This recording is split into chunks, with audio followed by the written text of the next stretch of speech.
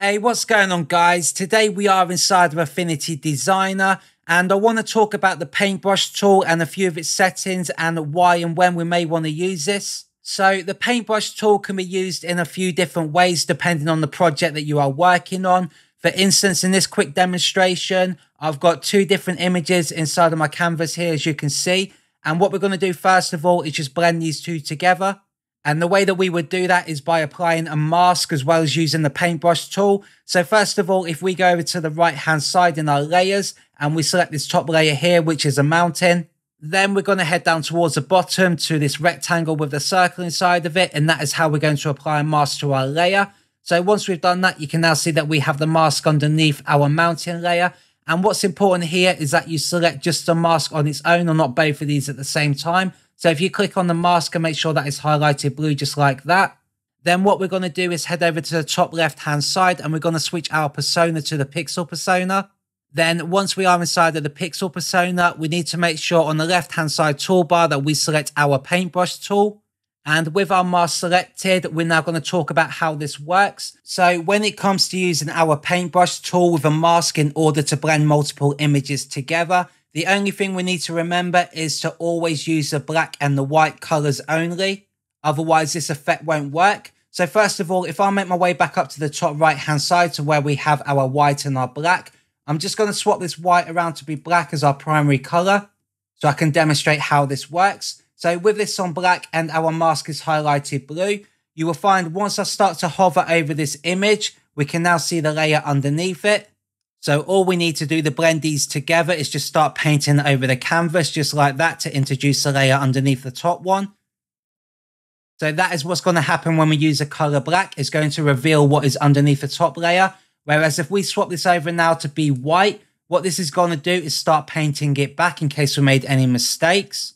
So it's just a case of painting back over this to get back to where you started if you're not happy with what you did. So in a nutshell, black is going to show what is underneath our top layer, whereas white is going to hide what is underneath our top layer. So I hope that makes sense. So what I'm going to do now is just hit Command or Control Zero just to zoom in and fit to screen. Then we'll switch back to our black again so we can start to reveal what is underneath the top layer. And we're going to start painting over this so we can blend it in just a little bit better. And we'll talk about some of these different settings that we have on the top left hand side. So starting with the width, that is going to be the size of our brush that we've got right here, as you can see. The best way to increase or decrease the size of your brush is with your left or right bracket keys on your keyboard. That is going to make that a lot quicker for you to do it that way. Then next to the width, we have the opacity, and that's just a case of just fading that out a little bit. If we bring that down to about 50%, and then we just start to paint over that, you can see it looks a little bit more dull. And the opacity is something that you will use an awful lot when it comes to combining images together. So I'm just going to command or control Z just to undo that for a moment. I'll set that opacity back to 100 just for now. So next to that, we have our flow. And the way to think of the flow is almost like using a spray can. And what I mean by that, if you just picture yourself holding a can of spray paint and you push as hard as you can on that nozzle, what's going to happen is it's going to project as much paint as it can giving you that 100% flow. Whereas if you just push down lightly on that nozzle, so we just change that flow down to around 40%, and you start painting with that, that's actually going to give you a thinner layer of paint when you start spray painting. So the flow is there to decide how much paint you want to apply to the brush at any time. So then next to that, we have the hardness. And before I talk about that, I'm going to hit Command or Control Z just to get rid of that. So I'll put that flow back up to 100% so we can see it better. And then we'll talk about the hardness. So if we bring our cursor back onto the canvas and we just click anywhere, we can see here now we have this really sharp edge around the circle. And that is exactly what the hardness is used for. It's going to give you either a softer or a harder edge around your circle. So if we come back up to the hardness now and we bring that down to say around 40%, and once again, if we just click anywhere on our canvas, you can now see we have a much softer edge around our circle. And the majority of the time when it comes to combining images together, you are going to use a softer brush and the hardness settings will vary on the type of project that you are working on. So what I'm going to do once again is Command or Control Z just to get rid of that. I'm going to bring my hardness all the way up just while we quickly paint over this. So I'm going to use my left and right bracket keys to make that a bit bigger. And we'll just start painting this in as quick as we can. This doesn't have to be perfect because I'm going to give you a quick demonstration of how this comes together. So I'm going to go over that and I'm going over the hills just so I can demonstrate that we'll use the black and the white colors. So the idea now is just to zoom in towards the bottom of our canvas so we can see some of the details in the hills. And we want to shrink our brush down with our left and right bracket keys. And once again, we'll change our color from being black over to white. That way it's going to reveal our original top layer once again. And all we really got to do now is just make our brush a little bit smaller and start finding some of the edges of the hills. So if you pay attention to the circle and you just see at the top there, we've got that first part of the hills, we could paint that in. And it's just a case of just keep making your way over this and just paying attention to where the sky comes into play and where the edge of the hills are. So that there as well. And at this point, it's good to go over softer brushes. It's going to look a little bit more natural. So if we go up to the hardness once again and we bring that down to around 50%, and then we just keep making our way around this. You can do this in one full swoop if you like. It's entirely up to you. Go ahead and make your brush either bigger or smaller just to get into these areas that you want to use. And if we zoom in even further and you find there's bits that you've missed or you want to go back over, it's just a case of swapping between your black and your white. Like I said, I'm not going to do this properly as I just want to demonstrate how you would do it. And this tutorial isn't really focused on blending images together. However, I do have other videos on my YouTube channel based on this topic if you want to go ahead and check some of those out. However, I will pause the video at this point so I can quickly just paint around these hills and then we're going to use an adjustment to blend both the hills and the sky together.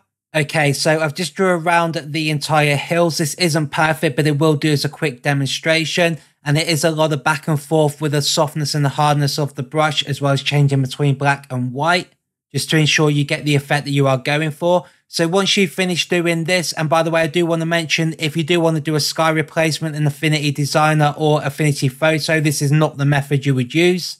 There is definitely easier ways of doing this. However, this is just to show you how to blend images together. So now with our sky painted in, what I want to do is just change the colors a little bit on the hills just to look a little bit more natural with the color of the sky. So if we make our way back over to the right hand side and we make sure that we select our layer with our hills on the top there, then we're going to come down towards the bottom to our adjustments. Then inside of here, we are going to look for color balance. And before we continue, you want to make sure that your color balance adjustment is inside of the layer on the top there and not on top of the one underneath it. Because if that's the case, it's going to start affecting the color of the sky rather than the hills. So just make sure that is indented inside of your top layer. So with our color balance, what we need to do in here is just change some of the settings just to take away more of the green and introduce some red. And we'll just start by adjusting some of the highlights. I'm going to bring this up towards the red area. Then with the magenta and green, I'm going to bring that down as well slightly just to introduce a bit more red in there. Then I'm going to change from highlights to midtones and I'll do the same thing just there. Bring some of that red in. And it's just a case of playing around with this till you get the kind of effect that you are going for yourself. So for me, that isn't looking too bad. It would do as a quick demonstration, but of course you can spend a bit more time on that if this is what you are going for. So there is one reason why you may want to use a paintbrush tool with a mask in order to combine images together. Another reason for using the paintbrush tool could be just to use a symmetry option and make yourself some patterns. So once again, if I come back up to the pixel persona on the top left hand side, then go and select my paintbrush tool once again. And then you'll find over here towards the right hand side, we have a couple of different options. We have the symmetry right here, which what this is going to do is it's going to duplicate what we paint on top here and add that underneath. So if I make my brush a little bit bigger now, and at this point you can use any colors you like for your brush. It doesn't matter because we're not using a mask. So you'll find once we start painting on here, it's going to just duplicate that underneath it. And this is what you're going to use for creating patterns. And of course, you've got the same options up here with your hardness and your flow. You can also change brushes in your brush section over on the right hand side and just go through all of these and see what it is that you like to work with.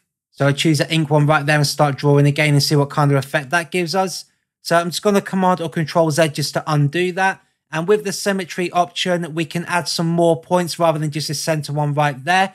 If we come back up to the top and then we add some additional lines, just like that, you can have as many as you like. Then once you start painting in these areas, it's going to duplicate it, like I said before. And this is a really good way of getting some really good patterns. So once again, I'll just quickly undo that with Command or Control Z. So there is another reason why you may want to use a paintbrush tool. So because I want to speed the video up at this point, I'm not going to cover too much more on the symmetry option. However, there are going to be plenty of other YouTube videos based on this topic if you want to go and check those out in more detail. But for now, we'll move on to another reason why you may want to use the paintbrush tool, and that is going to be for highlights and shadows, which looks so much more professional when it comes to creating digital art, just like my zombie guy here that I drew. So the first thing that I need to do is be able to get inside of his head so I can start drawing my highlights and shadows. So I'm just going to head over to the right hand side inside of my layers and I want to go ahead and find my zombie's head.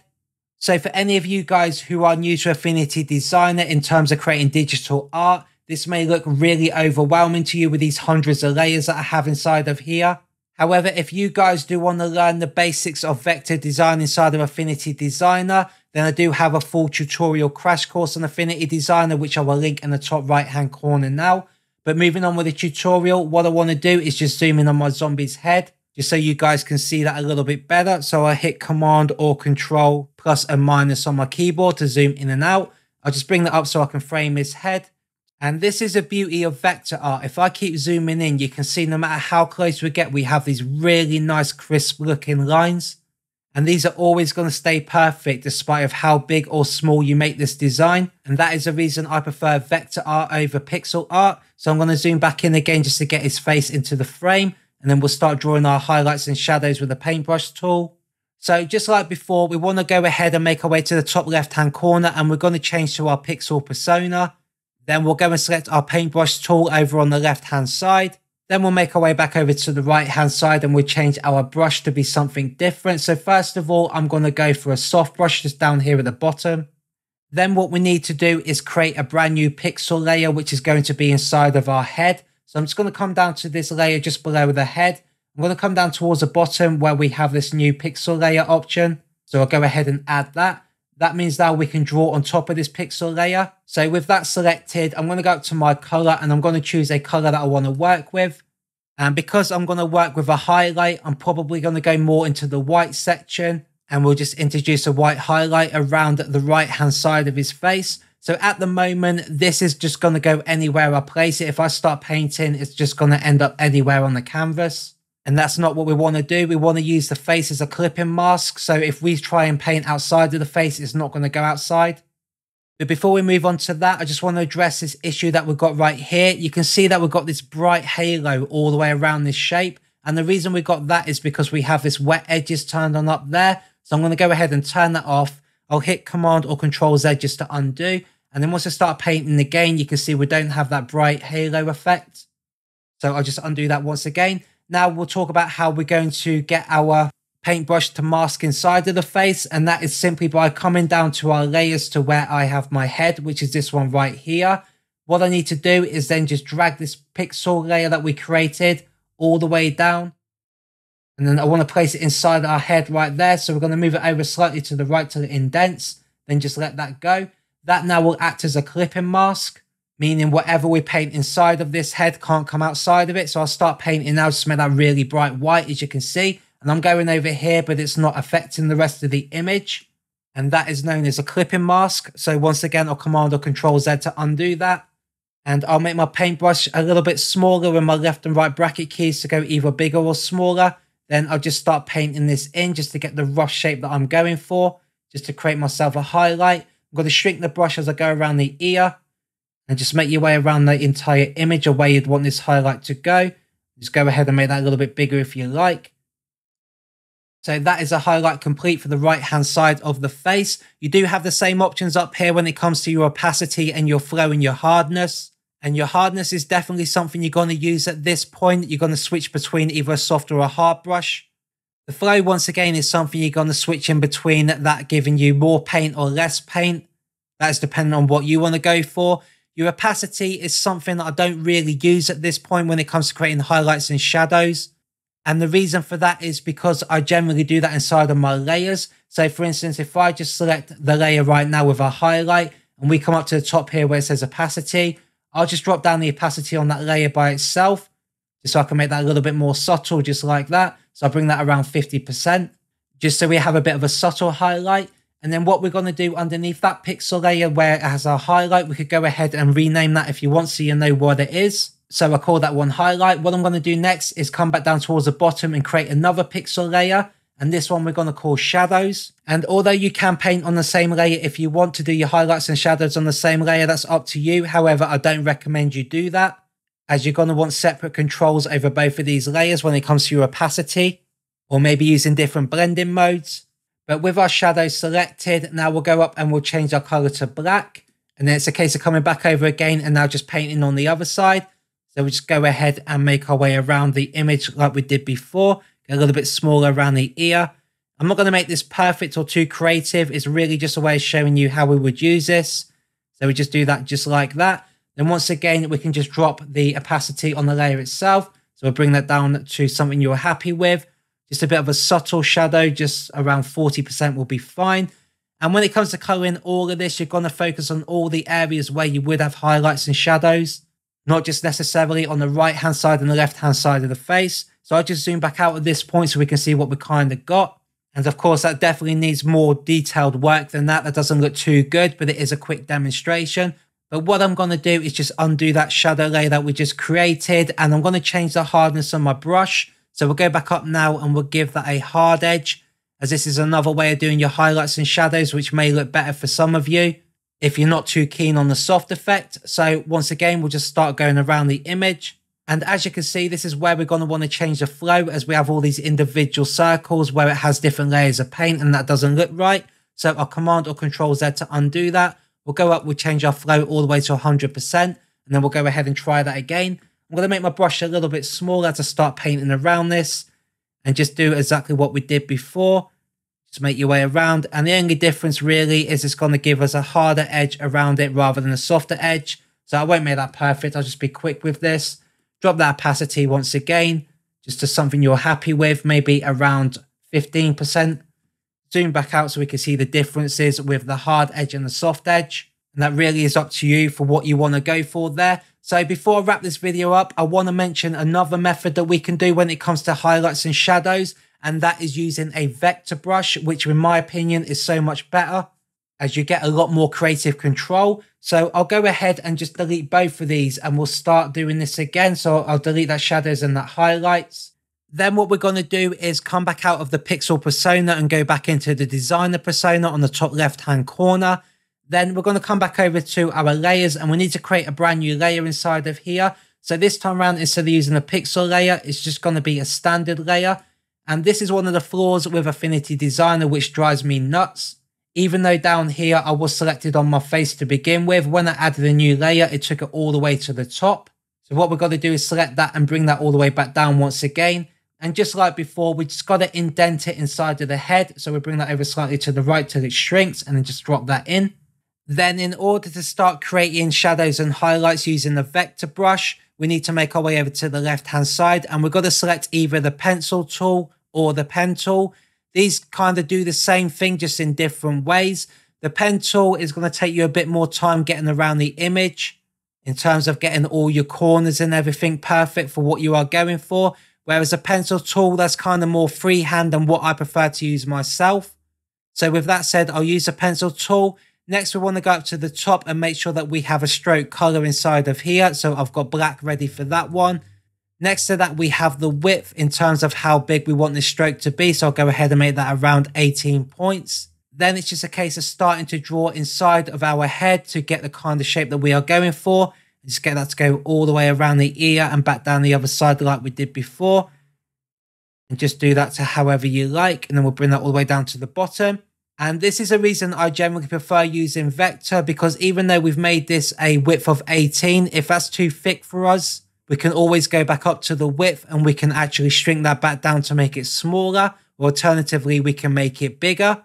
And we can also move that around if we're not happy with it. So I can go ahead and grab the move tool and I can pull that over and just readjust that to wherever I want it to go. As well as that, if we go and select our node tool, we have all these points here, which we can actually come in and start manipulating. So we can just readjust that to make it a little bit more for what we were going for, as well as add additional points inside of here by tapping along and you can just move that in or out and do whatever you want to do with that. So I'll just undo that quickly. So what we're going to do now is back over to our layers and we'll just go ahead and drop that opacity once again. and we'll take that down to around 15%. And I'll just deselect that for a moment so we can kind of see what we've got.